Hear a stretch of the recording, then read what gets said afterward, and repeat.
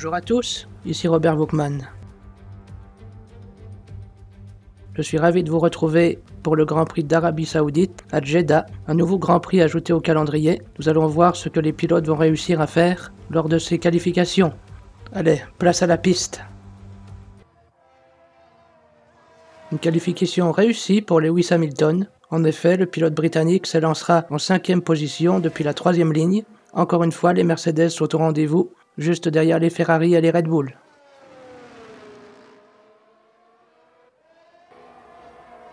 De la satisfaction du côté de Zach Brown. En effet, Lando Norris a atteint la Q3. Dixième position pour le Britannique. Excellente qualification pour McLaren. Nous allons bien voir ce que va faire son coéquipier. Et c'est une nouvelle Q2 pour Lombardie.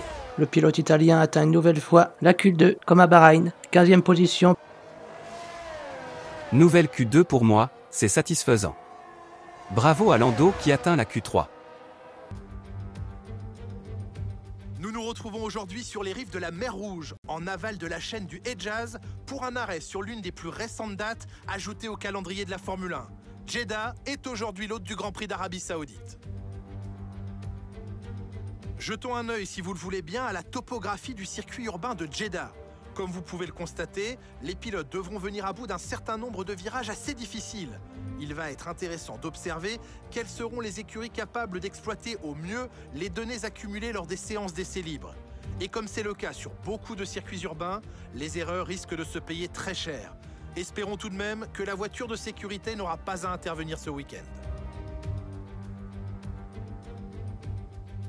Après une séance de qualification extraordinaire, le moment est venu de regarder à quoi ressemble la grille de départ de la course d'aujourd'hui. Charles Leclerc part en pole position et c'est Max Verstappen qui lui emboîte le pas. Regardons maintenant le reste de la grille. Sainz, Perez, Lewis Hamilton et Russell, Bottas, Fernando Alonso, Magnussen et Lando Norris, Tsunoda, Ocon, Pierre Gasly et Mick Schumacher, Lombardie, Zhou, Alexander Albon et Lance Stroll. Latifi et Sébastien Vettel qui partent dernier sur la grille. Ça y est, il est l'heure du départ. Tournons-nous vers la grille pour la course du jour. Nicolas Martin me rejoint une nouvelle fois en cabine de commentaires. Nicolas, c'est un grand plaisir de vous avoir avec nous aujourd'hui. Dites-nous, vous qui avez une bonne expérience des circuits, comment empêcher l'adrénaline de vous envahir au moment de vous aligner sur la grille de départ? Eh bien, j'imagine qu'il commence à sentir l'adrénaline monter en imaginant le départ jusqu'au premier virage. C'est un peu comme se préparer à aller au combat. L'inconnu joue sur les nerfs, mais c'est une bonne chose. Ça leur permet de rester concentrés sur l'instant et sur ce qui les entoure à mesure que le départ du Grand Prix approche.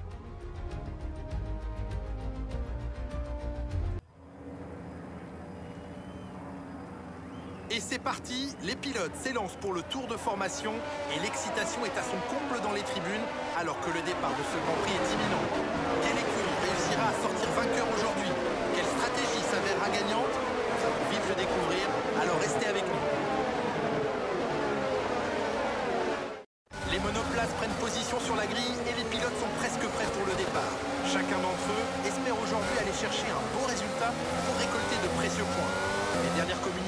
entre pilotes et ingénieurs concernant la stratégie viennent de s'achever, alors place à la course.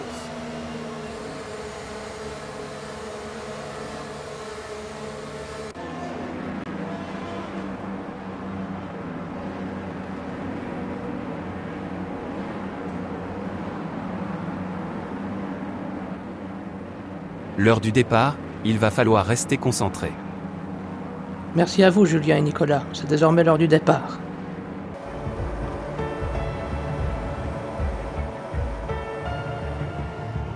Et c'est parti pour le Grand Prix de Jeddah. Charles Leclerc va-t-il réussir à garder la tête? Oui, c'est fait. Contrairement à Bahreïn, le Monégasque ne s'est pas fait piéger par Verstappen. Et Verstappen est à la lutte avec Carlos Sainz. Et Verstappen passe à la troisième place. Superbe dépassement de Carlos Sainz. Les deux Ferrari sont désormais devant.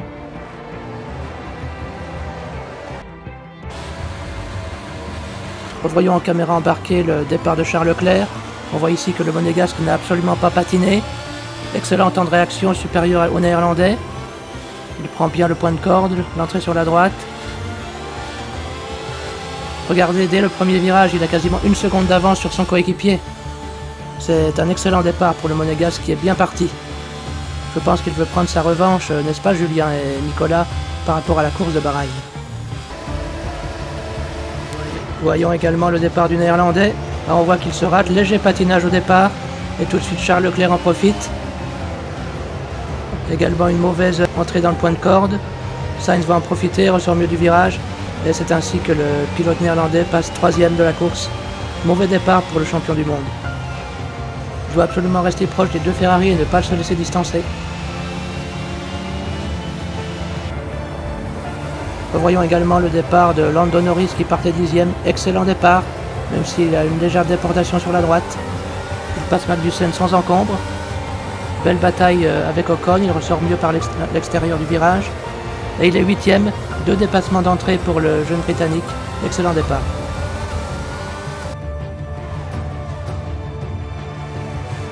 Et on se retrouve désormais en fond de grille avec une bataille entre Lance Stroll et Nicolas Latifi. Les deux Canadiens se retrouvent déjà à bonne distance de Alexander Albon et de Zhou. Qui va lâcher le premier? Ils sont désormais tout côte à côte. Dans l'entrée des virages en S, Stroll a l'air de prendre l'avantage. Et Latifi est passé. Stroll a dû céder après un mauvais freinage. Très mauvais départ du pilote Aston Martin.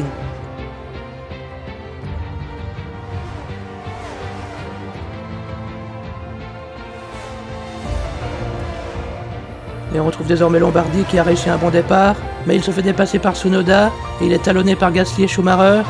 On dirait que le pilote italien est en manque de rythme en ce début de course. Va-t-il tenir? Le voilà coincé, il est en sandwich entre les deux AlphaTauri. Il est en souffrance, talonné. Schumacher est désormais à moins de 4 dixièmes de Lombardie. Là, on dirait qu'une AlphaTauri rentre au stand. Que s'est-il passé? Apparemment un accrochage avec Schumacher. Finalement, Lombardie s'en sort bien. Ah, il réussit à dépasser Tsunoda. Incroyable dépassement de Lombardie. Il s'en sort plutôt bien et reprend sa douzième place. Jeff, je n'arrive pas à me dépêtrer des AlphaTauri. Et c'est un nouveau début de course complètement gâché pour Pierre Gasly. Comme à Bahreïn, le pilote français se retrouve au stand dès le début de course. Véritablement un naufrage pour ce début de saison du pilote français. Et un arrêt très très long. Oh là là, que c'est long. Que de temps perdu au stand. À ce niveau-là, rien n'est pardonné au niveau des erreurs. Surtout en Formule 1.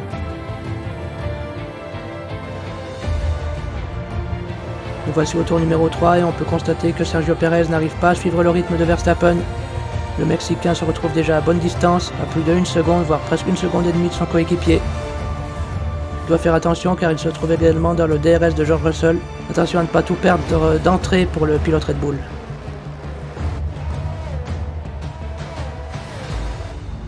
Oh mais c'est pas possible, regardez ça Julien et Nicolas. Le deuxième pilote d'AlphaTauri passe au stand. Quelle malédiction, quelle malédiction du côté d'AlphaTauri. Incroyable mauvais début de course.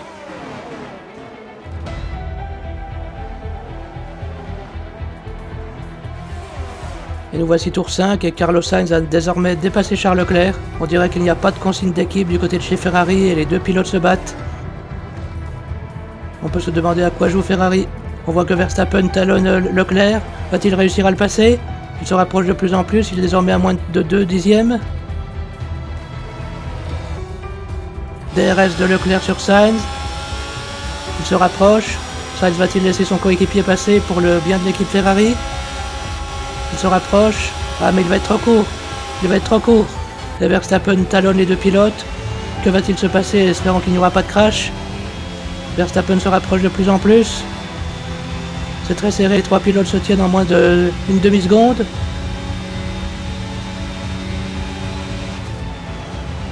Les deux pilotes Ferrari sont à la bataille. Incroyable. Et Verstappen va passer. Verstappen va passer. C'est pas possible. Quelle erreur du côté de chez Ferrari. Et Verstappen passe deuxième, il passe Leclerc. Il a désormais le DRS et il passe Double dépassement de Verstappen Quelle erreur du côté de chez Ferrari, incroyable Mais à quoi joue donc Ferrari? Verstappen est passé. Ah, Maria Binotto doit s'en mordre sur les doigts sur le muret des stands, incroyable Quelle erreur de Ferrari, Verstappen prend la tête comme à Bahreïn tout le début de course est gâché. Ah, c'est grosse erreur du côté de l'équipe italienne.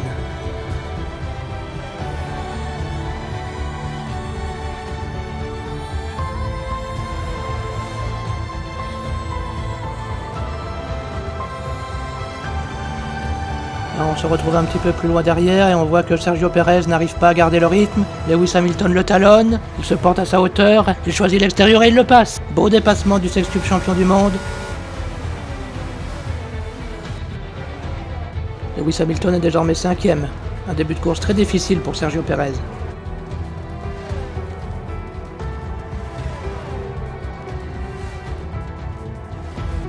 On retrouve désormais Lombardi qui a réussi à prendre ses distances sur Sébastien Vettel et Mick Schumacher. Presque une seconde 7 d'avance sur ses poursuivants. Il tente de se rapprocher de l'Alpine d'Esteban Ocon, mais cela va être difficile de se rapprocher du Français, tant l'Alpine est rapide en ligne droite. Une belle bataille s'annonce, on l'espère. Et on voit que Carlos Sainz n'a pas dit son dernier mot, il attaque Verstappen, il choisit l'extérieur. Les deux pilotes Ferrari et Red Bull sont côte à côte, Verstappen va-t-il résister? Lui, il enroule mieux sur la corde. Et Verstappen reste devant. Belle résistance du pilote néerlandais, toujours talonné par les deux Ferrari.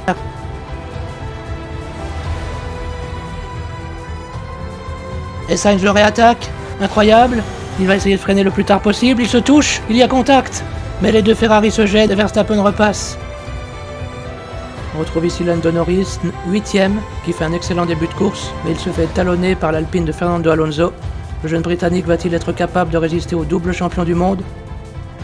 On voit Alonso ici se rapprocher grandement. Norris va-t-il résister?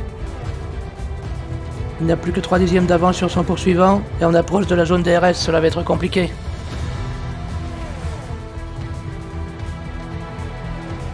Et Carlos Sainz est le premier leader à s'arrêter. Il va désormais tenter l'undercut sur son coéquipier et également sur le leader Verstappen. Pas sûr que cette stratégie fonctionne s'il se retrouve bloqué dans le trafic. Plus loin dans le tour 10, on retrouve ici une vue aérienne et une bataille à trois entre Lombardi, Vettel et Schumacher. On voit le pilote McLaren essayer courageusement de résister à ses poursuivants, mais il se fait talonner de toutes parts. On peut dire que la bataille est de tous les instants pour les points. Le top 10 est loin d'être fait.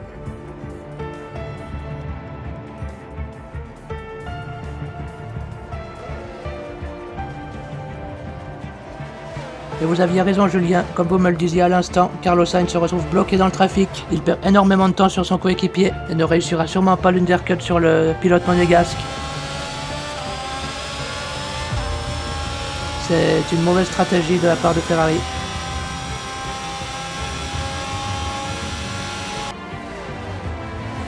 Et que se passe-t-il? On dirait que Schumacher est au ralenti. Apparemment sa monoplace a un problème. Oh, casse moteur, casse moteur, la voiture euh, de Schumacher est à l'arrêt. Oh, il s'arrête à un endroit dangereux sur la piste. Safety car, safety car. Et on voit Lombardi qui en profite. C'est un arrêt au stand gratuit pour le pilote italien. Il est également suivi par Sébastien Vettel qui rentre également au stand. Est-ce que cette stratégie va payer? On voit de nombreux pilotes anticiper leur arrêt à cause de la safety car. Ils auront des pneus plus frais pour la suite de la course. Voyons ce que cela va donner.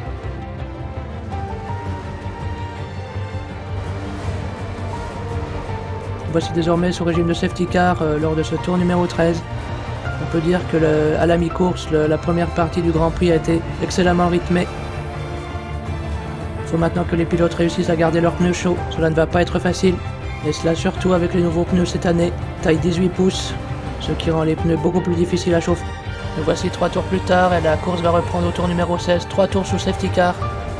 Espérons que les pilotes ne ressortent pas avec les pneus gelés, sinon il risque de y avoir de nombreux accidents en piste. Voyons ce que cela va donner. C'est Verstappen qui est à la relance, c'est à lui de choisir le rythme de, la reprise. Ils vont rentrer dans la dernière ligne droite. Et la course va reprendre à l'entrée du tour numéro 17. Et la course a repris. Et Lombardi se déporte sur la droite, ils sont à trois de front, et ils se touchent. Contact entre Sergio Perez et Norris. Mais qu'est-ce qui lui prend à Pérez? Sergio Perez s'échappe devant Lombardi, mais le pilote italien réussit à conserver quand même une huitième place. Lando Norris passe 9 et double d'Esteban Ocon. Belle manœuvre des deux pilotes de chez McLaren. Ah, le contact était quand même sévère entre les trois pilotes. Espérons qu'il n'y ait pas de dommages sur les monoplaces. Et on dirait que les deux pilotes de chez McLaren se livrent bataille également. Attention à ne pas faire la même erreur que chez Ferrari. Lombardie arrive à rester devant Lando Norris. Et les deux pilotes se retrouvent désormais à la même hauteur. Ils sont côte à côte. Ils sont côte à côte dans la ligne DRS. C'est extrêmement dangereux.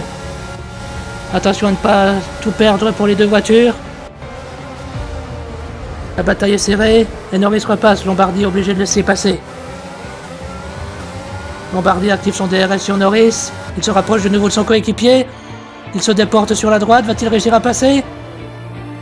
Et le freinage tardif de Lombardie. Il réussit à repasser devant son coéquipier. Et un tour plus tard, Lewis Hamilton est à la poursuite de son coéquipier George Russell. On peut dire une nouvelle fois que l'écurie Mercedes est la meilleure des autres. En effet, ils réussissent à prendre aujourd'hui encore de gros points comme à Bahreïn et confortent leur place au constructeur avec la troisième position derrière les Ferrari et les Red Bull.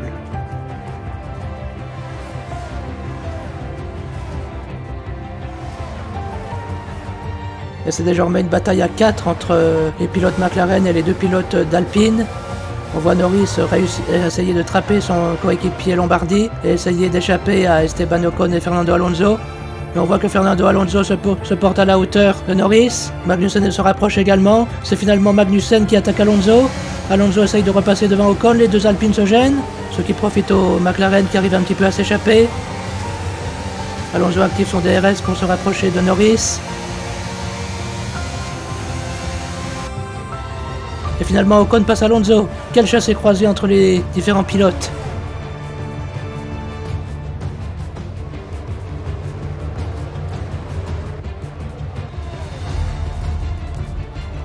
Et finalement, Verstappen au tour numéro 25 s'échappe. Il a désormais plus d'une seconde d'avance sur Charles Leclerc. Et comme à Bahreïn, il est, à moins d'un ennui mécanique, il est désormais largement favori pour remporter la course.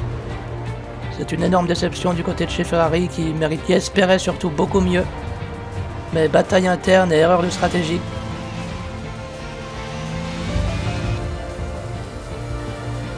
Oh, George Russell est au ralenti. Ah, catastrophe du côté de chez Mercedes. Le Britannique est au ralenti et a apparemment un problème sur sa monoplace. Ah, son moteur, a, son moteur a lâché. On voit la fumée s'échapper de sa monoplace. Y aura-t-il une nouvelle safety car? Il arrive à se ranger sur le côté. Et on retrouve Fernando Alonso derrière les échappements de Lombardie. On dirait que l'Italien est à l'agonie en cette fin de course. Va-t-il résister? Oh, il arrive, les deux Alpines se gênent et il arrive à ressortir devant, mais va-t-il tenir? C'est incroyable. Formidable bataille entre les Alpines, la Haas de Magnussen et les McLaren. Et la bataille continue avec Magnussen qui a finalement dépassé les Alpines. Les Alpines, à force de se combattre toutes les deux, laissent la place aux pilotes danois.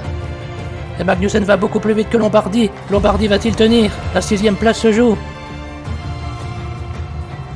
Se porte à la hauteur de l'Italien et il le passe. Magnussen est passé sur Lombardie et Lombardie repasse. Il le tasse un petit peu sur la gauche, mais Magnussen a la vitesse de pointe. Cela va-t-il suffire? Les deux pilotes sont désormais côte à côte. Aileron cassé Aileron cassé pour Lombardie Catastrophe pour l'Italien il reste désormais un tour, mais le pilote italien va-t-il rentrer au stand? Non, il continue. Il continue avec un aileron cassé. Le pilote italien risque de tout perdre. Il doit absolument résister à la Haas et aux Alpines. Your fin is broken. I repeat, your fin is broken. You have one more lap to go. Give it your all. We're with you. Et on vient d'entendre la communication de l'ingénieur de Lombardie. Le pilote italien va-t-il résister? Il a toujours une, une seconde d'avance sur Magnussen, mais son avance fond comme neige au soleil. La McLaren a du mal de prendre les virages et Magnussen se rapproche avec sa vitesse de pointe. Déjà 7 dixièmes repris en un secteur. Regardez comme la Haas se rapproche vite de la McLaren. On dirait Verstappen qui se rapprochait d'Hamilton lors de la dernière course l'année dernière. Il, le il se rapproche. Je ne peux plus tenir Jeff. Magnussen revient très vite sur moi. Les pneus sont morts. On ne voit pas comment Lombardie pourrait tenir, c'est incroyable. Plus que 4 dixièmes d'avance pour l'Italien. Et la caméra se porte sur la victoire de Verstappen. Was that a good race? Or was that a good race? You tell me. That was a very mature drive today, Max. Great pace when you needed it, and uh, yeah, well done. Brilliant result. Yeah, amazing result for the team as well. Great job. Verstappen remporte la, sa deuxième victoire de la saison, incroyable. Et s'ensuit la deuxième place de Leclerc et la troisième place de Sainz. Et la caméra se reporte sur Magnussen, plus qu'un dixième d'avance. Et le Danois passe sur Lombardie. Lombardie tombe désormais à la septième place. Et Ocon le talonne désormais. Le pilote italien est à l'agonie. Ocon se rapproche. Ils sont à la, même hauteur, attention de ne pas se cracher. Ocon est dans les échappements de Lombardie. Et Ocon passe. Deux places de perdu. Mais Lombardie repasse à l'accélération. Incroyable. Lombardie repasse et termine à la septième place.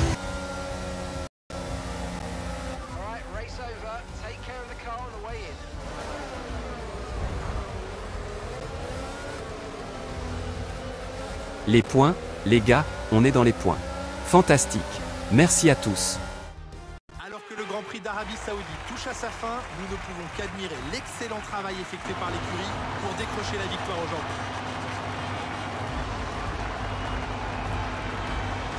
Dites-moi Nicolas, comment pensez-vous qu'il a réussi à signer un tel résultat aujourd'hui?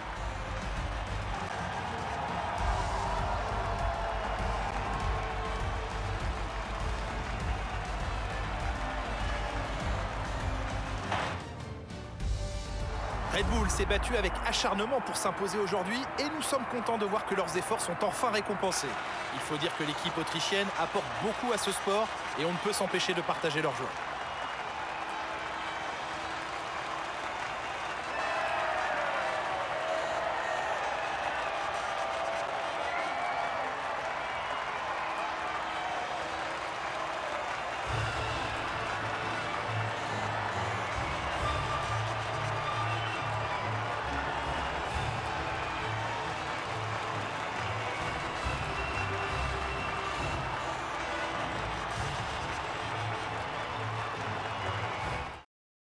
Rapidement l'évolution du classement des pilotes.